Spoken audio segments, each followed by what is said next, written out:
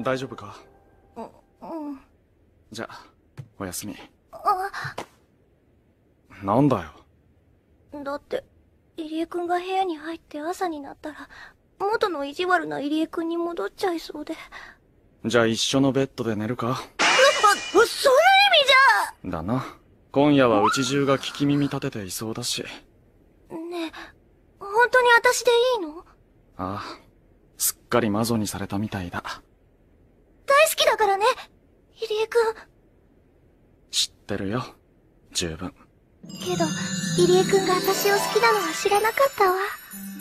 お前には降参したよ。大好きだよ。